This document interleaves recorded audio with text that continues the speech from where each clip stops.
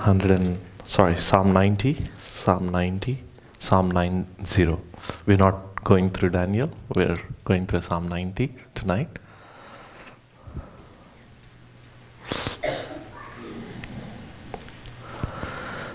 We're going to look at Psalm 90.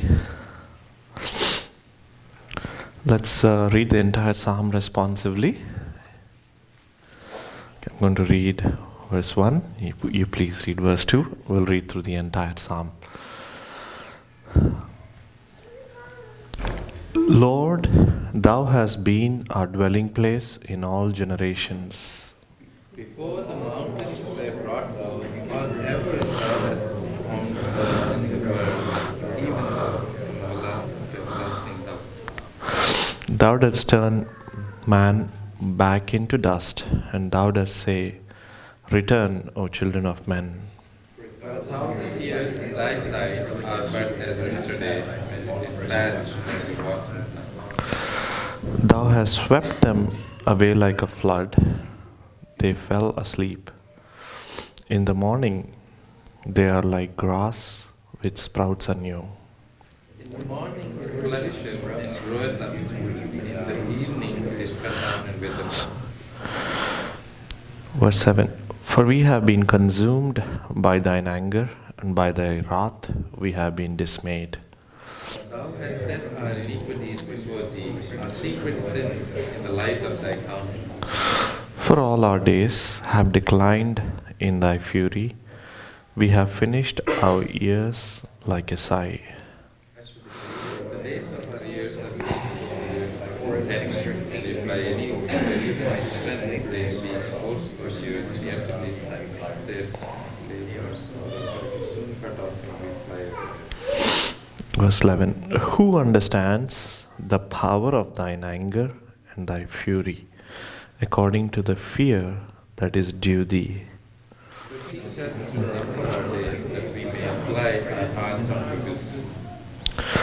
Verse 13 Do return, O Lord, how long will it be? And be merciful for thy servants. O satisfy us early with thy mercy, that we may rejoice and be glad all our days. Make us glad according to the days thou hast afflicted us, and the years we have seen evil. And.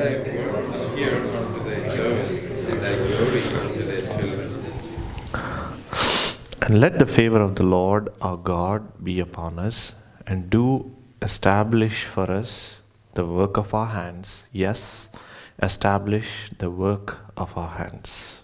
Okay, let us pray. Our gracious God, our Heavenly Father, this uh, evening, Lord, we thank you for your word. We thank you that your word is eternal. Your word is not time bound. Uh, it speaks to us today. Yes, Lord, as we look into your word this evening, we pray, O God, that you would speak to us. You would uh, give us a heart of wisdom, give us a heart that would have the same desire that Moses had. We pray, O God, that you would bless the word in our hearing. Father, this evening I commit myself to you. I pray that you would uh, help me, Lord, as I speak your truth. Father, please uh, bless this time. Please give me the wisdom needed to speak your word. In Jesus' precious name we pray. Amen.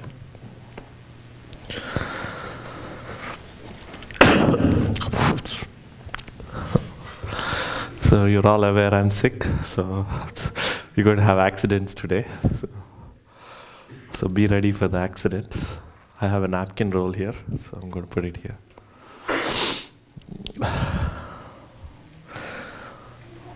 Well, I was thinking, what should I preach on? Um, since we are in a transitory phase in our lives, I decided it'd be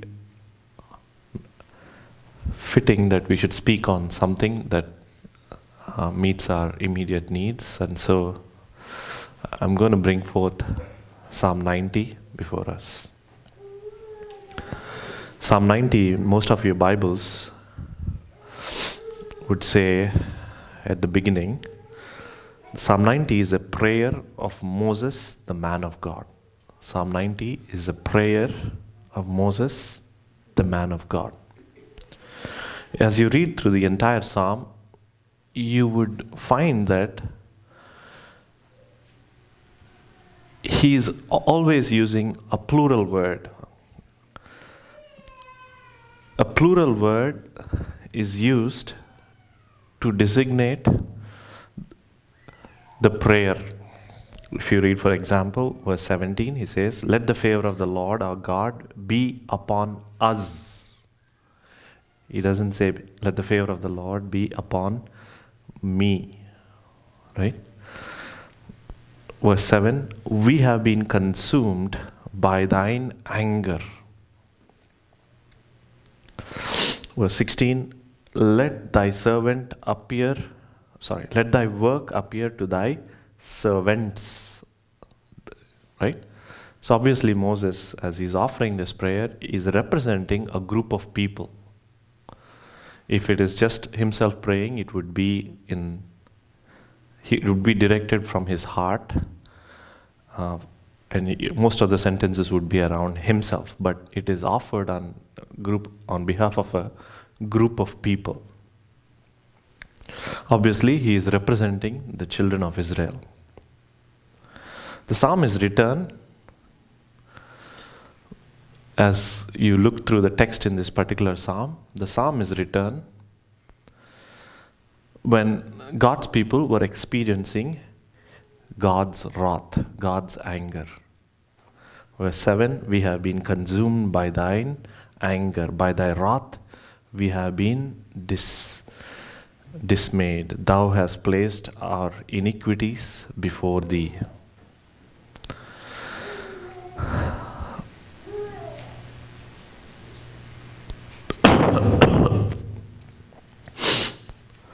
The context of this psalm is that Moses and the children of Israel are about to enter the promised land. Moses had brought the children of God out of Egypt. We read in Exodus chapter 14, 15, 16, the children of God, the people who came out of Egypt, instead of trusting the promises of God, they have murmured against God. They did not trust the faithfulness of God.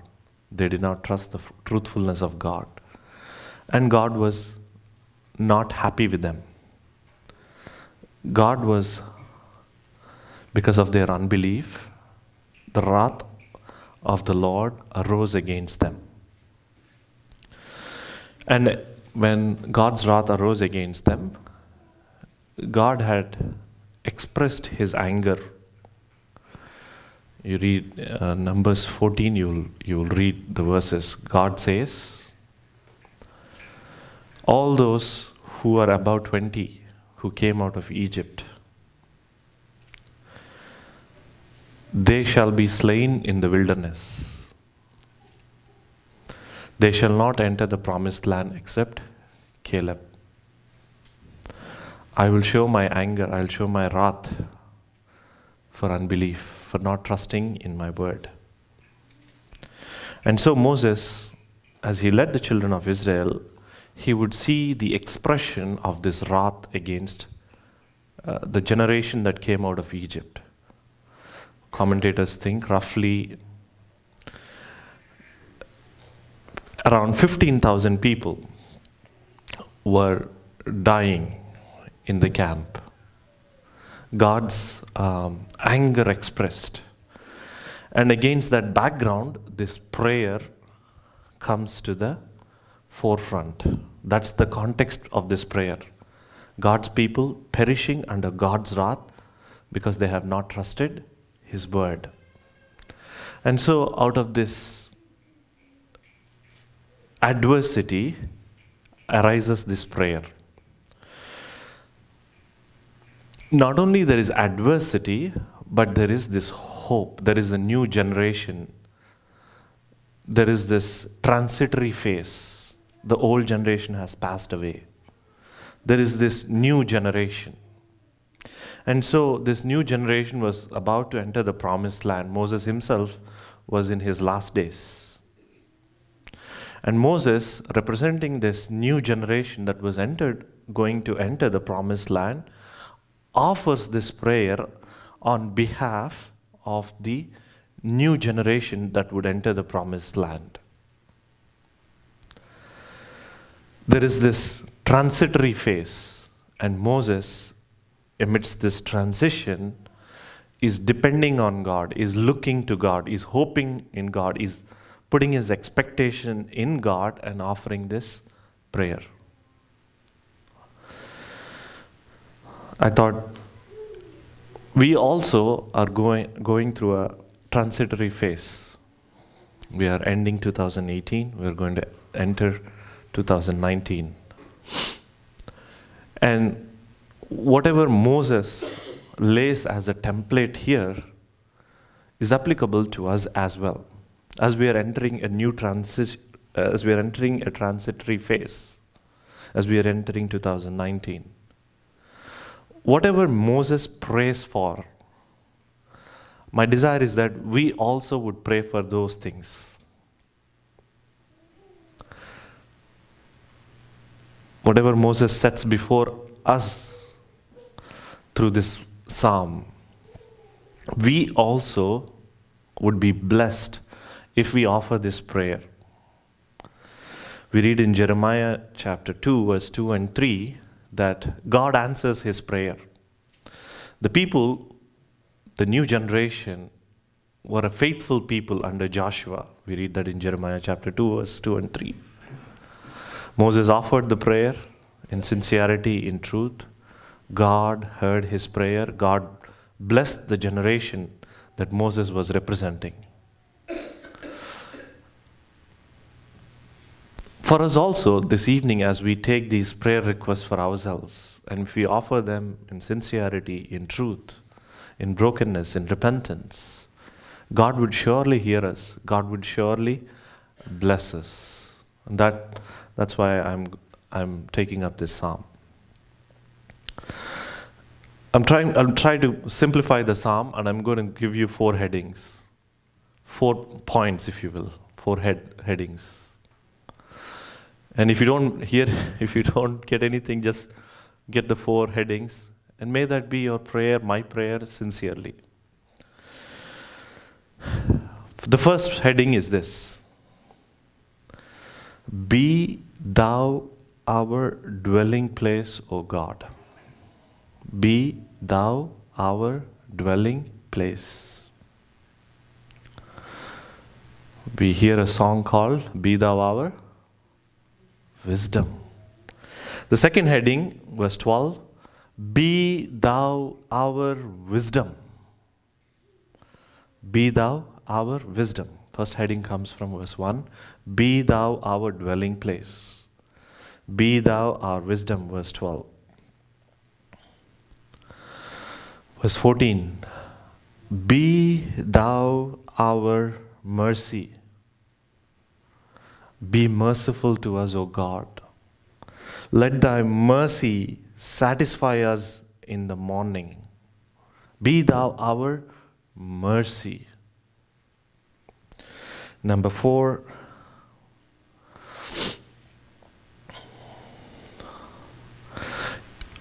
verses 16 and 17. Be thou our blesser. Be thou our blesser. Moses is saying, Let the favor of the Lord our God be upon us. Let the grace of our Lord, let the blessing of the Lord our God be upon us. Four things, right? Be thou our dwelling place. Verse 12, Be thou our wisdom. Verse 14, Be thou our mercy. Verse 17, Be thou our blesser.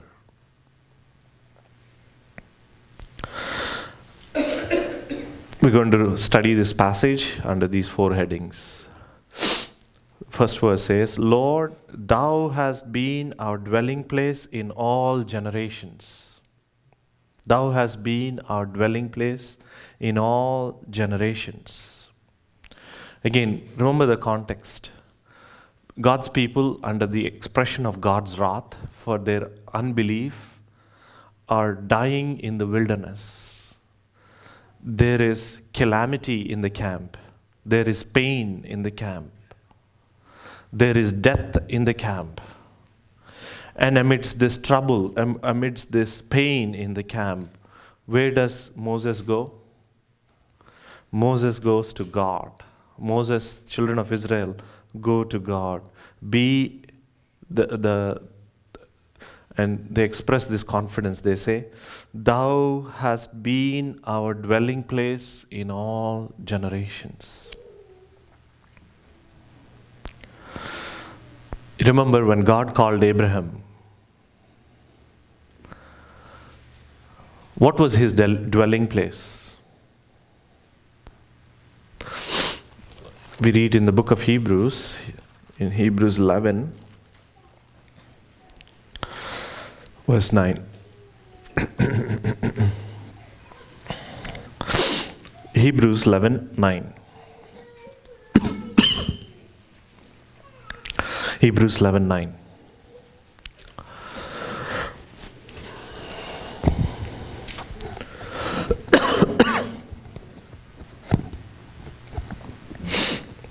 Hebrews 11:9. By faith, he lived as an alien in the land of promise, as in a foreign land, dwelling in tents with Isaac and Jacob, fellow heirs of the same promise. We are told God called Abraham. God showed him, Go to the land that I'll show you. Abraham, we are told, did not build houses. Everywhere he went, he did one thing. He- the first thing he, he does after he goes to any place is he would build an altar and he would call upon the name of the Lord. An altar is a place where sacrifices are offered. An altar is a place where worship is possible. So, Abraham, what does he do? Wherever he goes, the first thing is he, he puts his tent, he puts an altar. He's not worried about his permanent dwelling. Tent and an altar. He is dwelling in tents. He was looking forward for that city whose builder and architect is God. He knew his permanent home is heaven. In this world, he was making God his dwelling place. In Psalm 90, we are told, Thou hast been our dwelling place in all generations. In Abraham's time, Lord, you have been our dwelling place.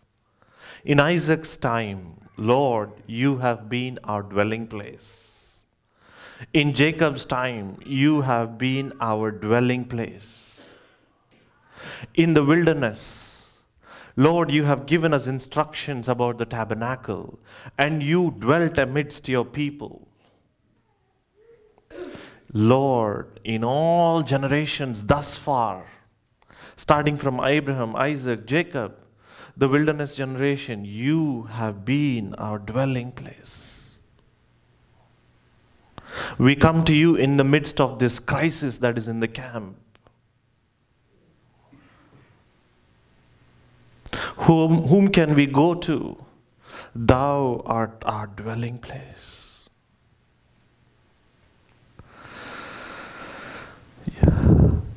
Lord, you are our dwelling place. Be our dwelling place. As we enter a new year, this must be our prayer. Lord, be thou our dwelling place. Lord, help me to dwell in you. Help me to abide in you. How can we uh, dwell and abide in the Lord? When we are in His Word. When we are in His Word, we abide in the Lord. When we abide in His truth, we abide in the Lord. God fellowships with us. God comes down to us. Let us turn to John chapter 14, verse 23. John chapter 14, verse 23. John chapter 14, verse 23. Jesus answered and said to him, If anyone loves me, he will keep my word, and my Father will love him, and we will come to him and make our abode with him. We will make our dwelling with him. We will make our fellowship with him. As we enter the new year, this must be our prayer. Lord, be thou our dwelling place. Lord, help me to abide in your word. Help me to spend my life around your word. Help me to study your word. Help me to read your word. Help me to think of your word. For I know when I think, when I meditate, when I around your word, you you you have fellowship with me.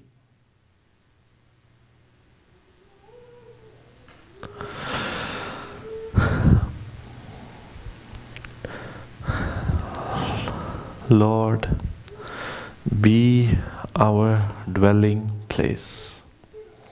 When you come on Sundays, this every Sunday after Sunday, when you attend Bible studies, we have fellowship with one another. That's important. But more than that, we have fellowship with our God. He is meeting with us. His dwelling place is here through His Word. So, as Moses expresses here, may it be our desire that we, we realize that God is our dwelling place. And may we pray, Lord, be thou our dwelling place. Help us to abide in thy word. As we move on, our second prayer must be around be thou our wisdom. Be thou our wisdom.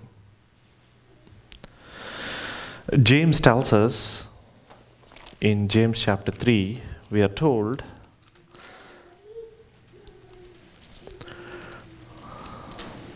James chapter 3, verse 13 through 18. Verse 13, he says,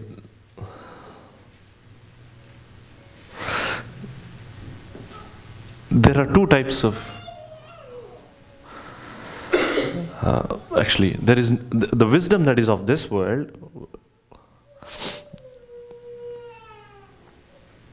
there is a wisdom of this world which is earthly.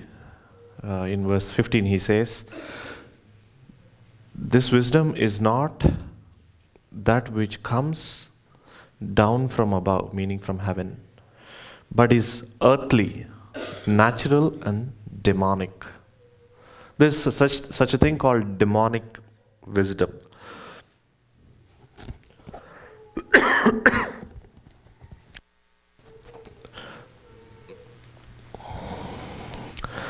Worldly wisdom demonic wisdom. It's useless. It won't help us in any way. It makes us enemies of god. There is another wisdom. Verse 17. But the wisdom from above, meaning from heaven, the wisdom from heaven is first pure, peaceable, gentle, reasonable, full of mercy and good fruits. There is a heavenly wisdom. As believers, we must seek this wisdom which is from above.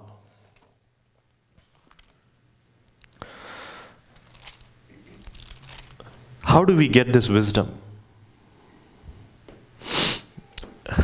The fear of the Lord is the beginning of wisdom.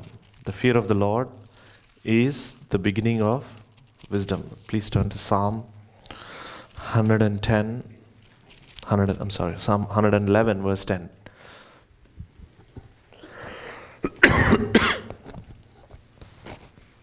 Psalm 111, verse 10. The fear of the Lord is the beginning of wisdom. True wisdom from above comes as a result of the fear of the Lord. A good understanding have all those who do his commandments. This is the wisdom Moses desires the children of Israel would have. This is the wisdom that we must desire to. And it is a consequence of the, because of the fear of the Lord. It is a consequence, it is an after effect because of the fear of the Lord. Without the fear of the Lord, you cannot have this wisdom. we all are uh, acquainted with this concept called cause and effect, right? If you want, if I want this heavenly wisdom, it must come because of the fear of the Lord.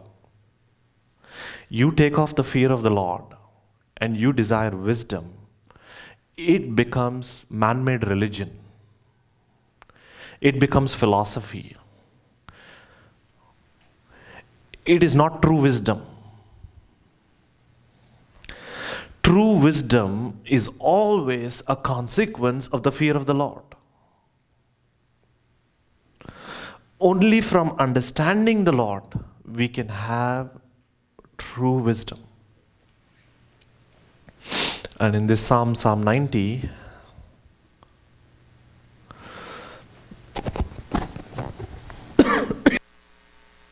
this Psalm, Psalm 90,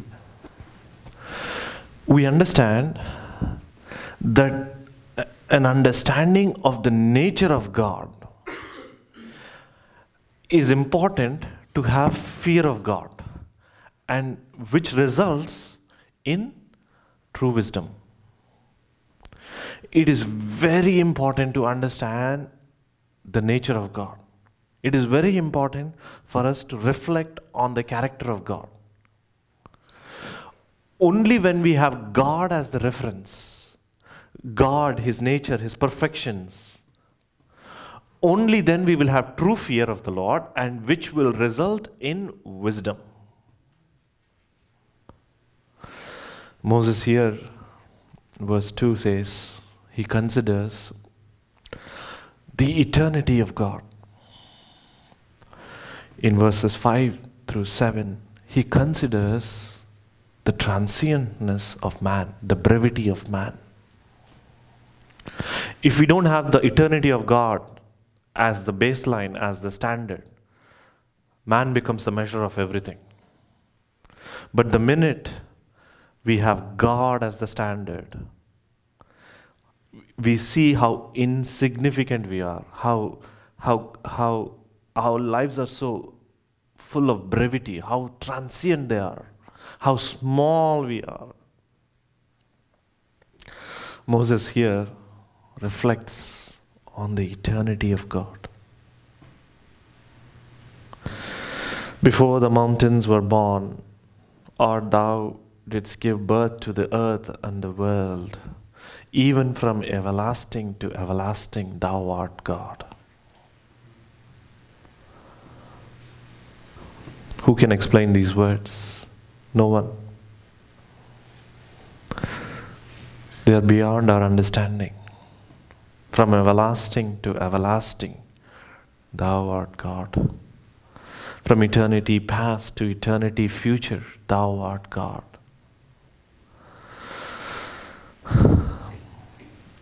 Verses 3 to 6, when we compare this eternal God when we compare ourselves against this eternal God.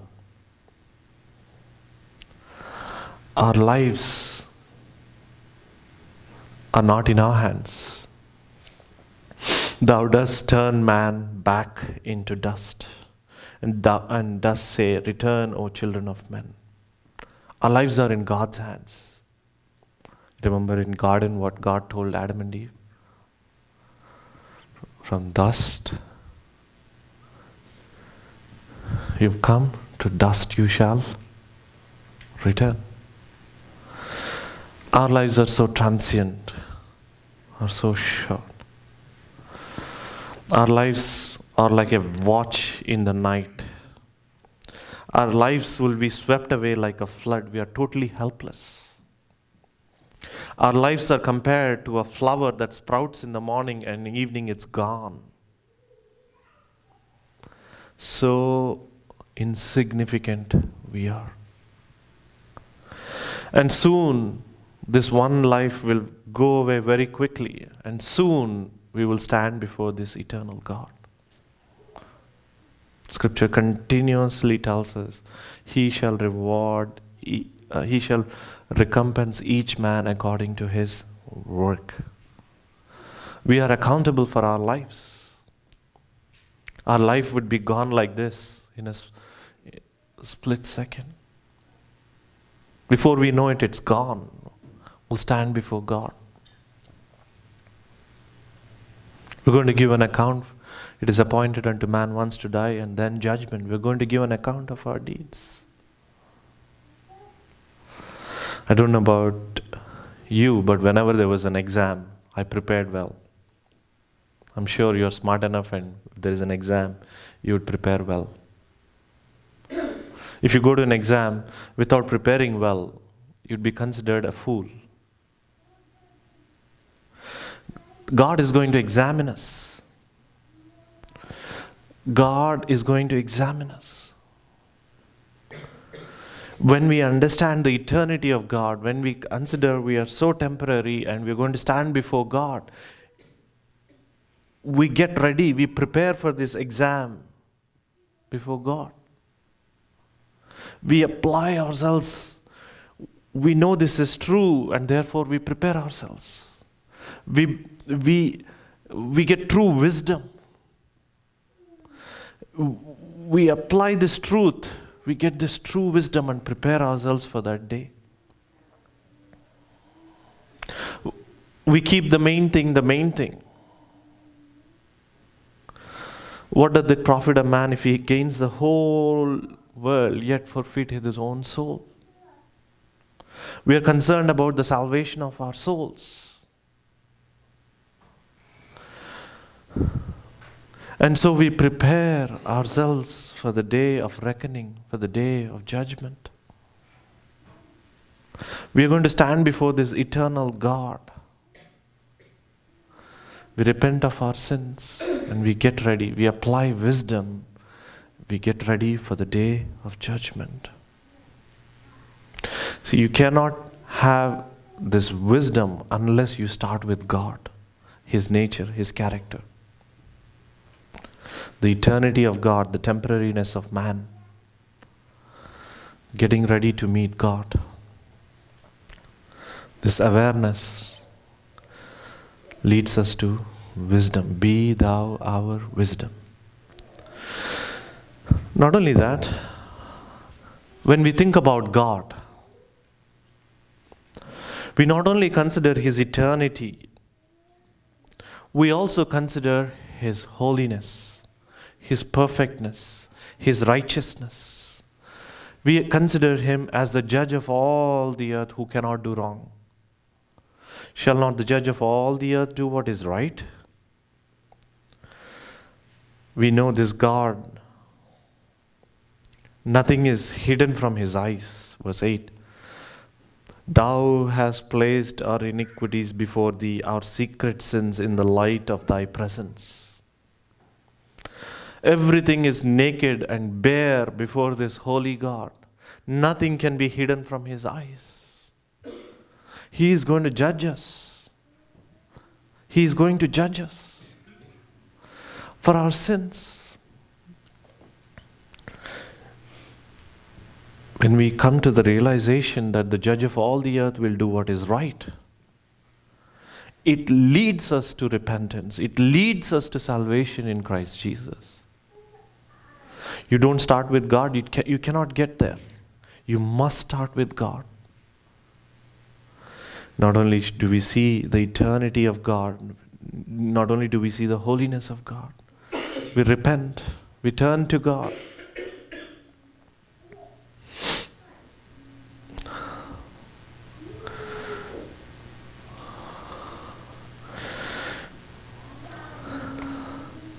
We put our faith in Jesus our Lord. Verse 12 Teach us to number our days, that we may present to thee a heart of wisdom. We know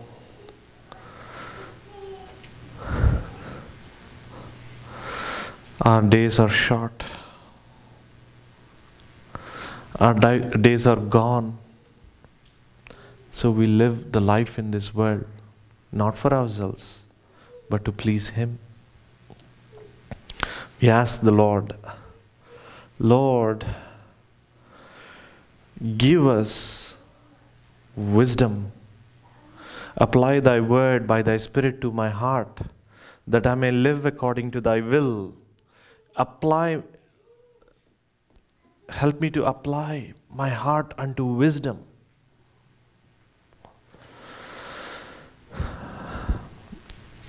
Only when we start with God, the fear of the Lord is the beginning of wisdom.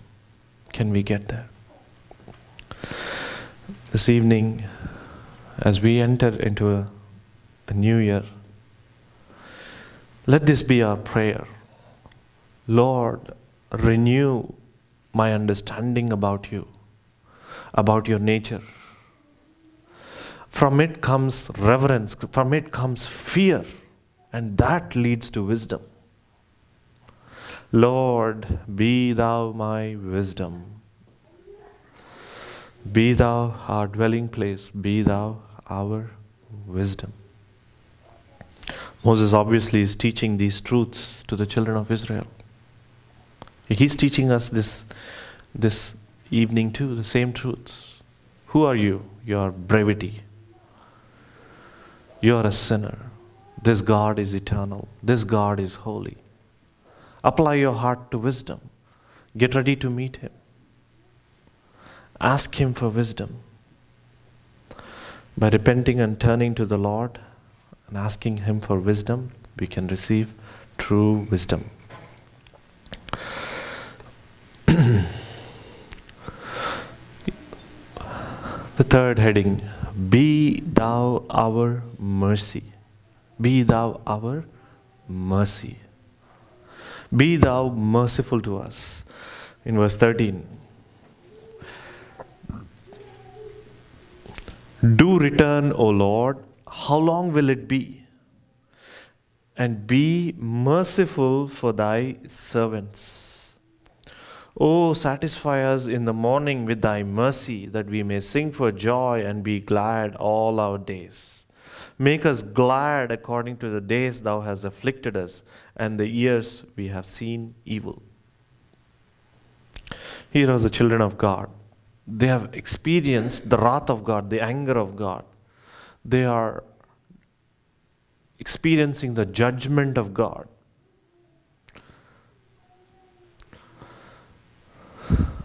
Moses is interceding and asking God to be merciful. To be merciful. We have sinned against you, Lord. We have endured enough. But now, please be merciful. This is a new generation. Please be merciful.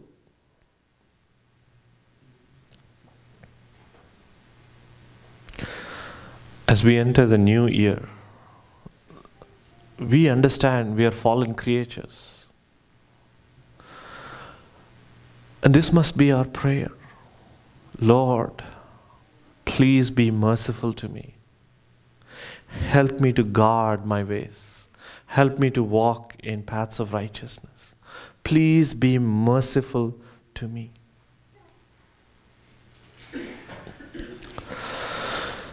in Psalm 130, Psalm 130, verse 3.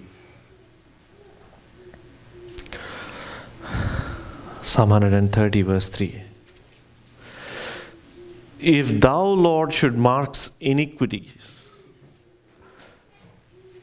O Lord, who could stand? If thou should mark iniquities before thy perfectness, who can stand, O God? But there is forgiveness with thee that thou mayest be feared.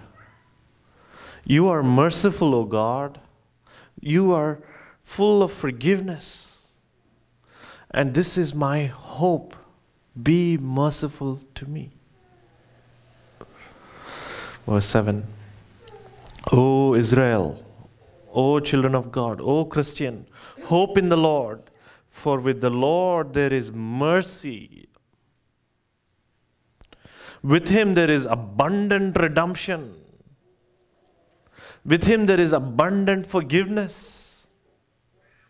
He will redeem the children of God from all his iniquities. Lord, be merciful to us as we enter the new year. Lord, not because of our merit, but because of thy mercy. Lord, be merciful to us. Psalm 147, verse 11. The Lord favors those who fear him. The Lord is pleased with those who fear him, those who wait for his mercy. We are fallen creatures. God's mercy alone is our hope.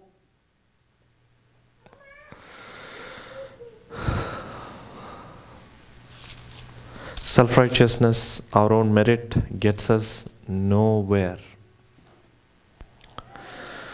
And Moses is seeking the mercy of God, the kindness of God, the compassion of God. He says in verse 14, Oh, satisfy us in the morning with thy mercy. Oh, we all need the mercy of God. Satisfy us in the morning with thy mercy. You remember in the Old Testament, every morning, the children of Israel in the wilderness, manna would flow, would, would come out of heaven. This heavenly provision would come out of heaven. Moses, perhaps, visualizing that, let like let mercy come like that manna every morning, O God, that we may sing for joy and be glad all our days.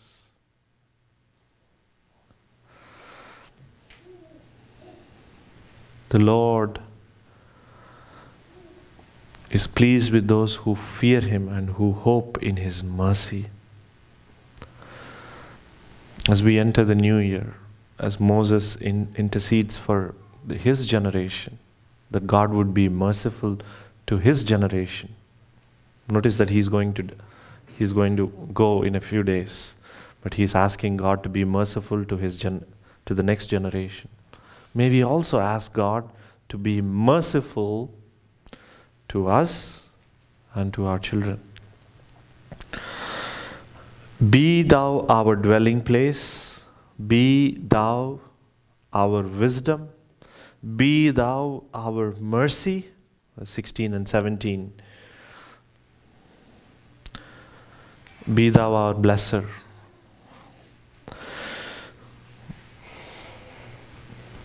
Moses here is praying for the children of Israel. They have a task, they have to occupy the promised land. They need God's favor, they need God's hand upon their lives. Joshua and his contemporaries need God's hand upon their lives. Verse 16 Let thy work appear to thy servants. Let thy work appear to thy servants. God, this is your work. This is not Joshua's work. This is not Joshua's contemporaries' work. Let thy work, God, you have promised that you would give the promised land to the children of Israel. You promised the forefathers, you promised Abraham, Isaac, Jacob. Let thy work appear to thy servants. That work that you have promised, let it be done.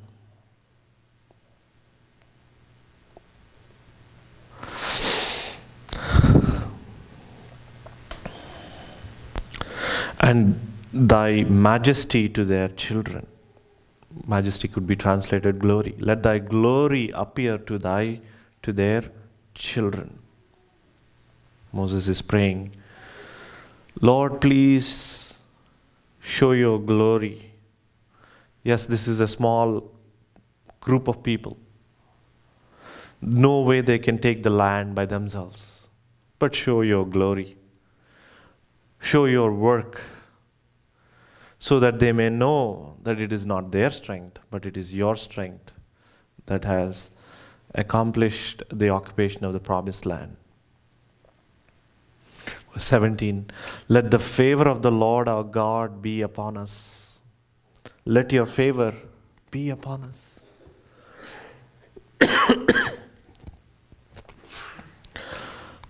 let your blessing, let your grace be upon us. And do confirm for us the work of our hands. Do, yes, establish the work of our hands. Lord, you must bless, you must establish this work that this generation has to take to drive out the inhabitants of the land and to occupy the promised land. You must establish this work. Unless your blessing is there, we cannot do this work. Let the favor of the Lord our God be upon us. Moses was praying for his generation. And it applies to us too. Lord, establish the work of our hands. Lord, show thy glory to our children. Show thy glory, show thy goodness, show thy work to our children. I'm speaking specifically for our children. This must be our prayer. Show thy glory, show thy goodness to our children as we enter this new year. Specific prayer for our children. Verse 17 Lord, establish the work of our hands. It could be our office work, it could be the work of the Lord that we are part of. Scripture teaches us in 1 Corinthians 3, Scripture teaches us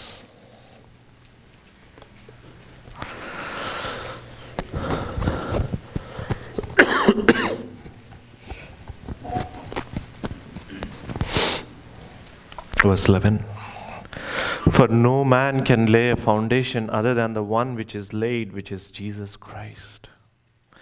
Now, if any man builds upon this, upon the foundation, builds upon the foundation with gold, silver, precious stones, wood, hay, straw, each man's work will become evident.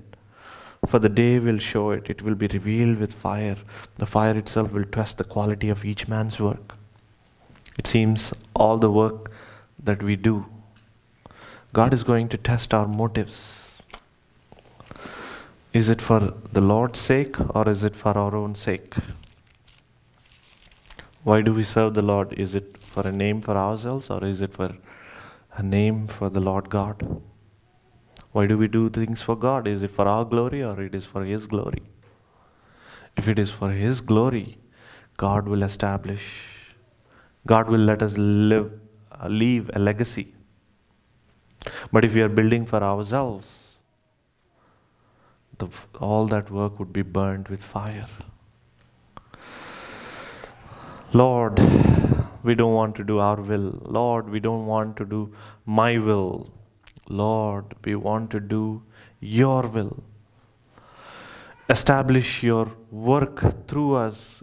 Bless it with thy spirit. Be thou our blesser. upon all the things we do. Be thou our blesser. Be thou our blesser.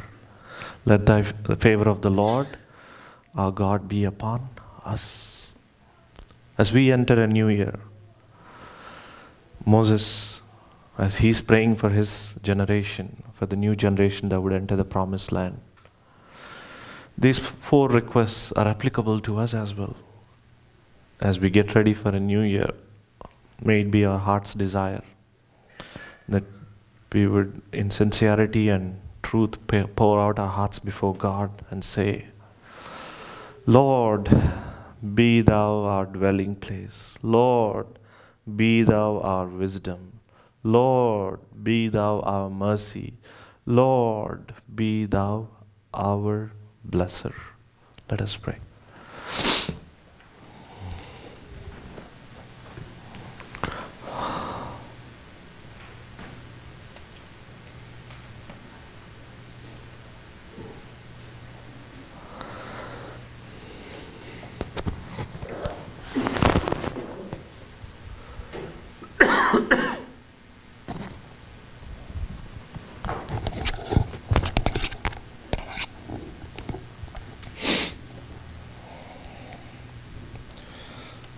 Our gracious God, our Heavenly Father, this uh, evening, yes, Lord, it is because of Thy mercies we are not consumed. Yes, Lord. We do ask, Lord, that you would visit us in a special way as we prepare for a transitory phase in our lives. Father, you would help us, you would enable us to be your people, that we would live as aliens and strangers in this world, and you would be our dwelling place. Father, we pray that uh, you would give us a fresh revelation of yourself. Lord, we pray that we would measure everything not by measure of man, but by your standard, by your nature, by your word. We pray, O God, that you would help us, Lord, to apply our hearts unto wisdom to live for you. Father, we pray that you would show mercy upon us. Lord, we are not worthy. Yes, Lord, the publican was right when he prayed, Be merciful to me, a sinner. Yes, Lord, help us to hope in Thy mercy. Lord, it is Your mercy alone that we are not consumed, and help us to hope in Thy mercy. Father, we do ask that you would uh, bless the work of our hands, establish the work of our hands, help us to do with true motives, pure motives, to honor you, to glorify you. Lord, show Thy glory, show Thy goodness to our children. May they serve you, Lord. Father, we worship you. Father, we praise you. Father, we commit ourselves to you. We ask for your blessing. Lord, bless us, Lord. We need thy blessing. We commit ourselves to you. In Jesus' precious name we pray. Amen.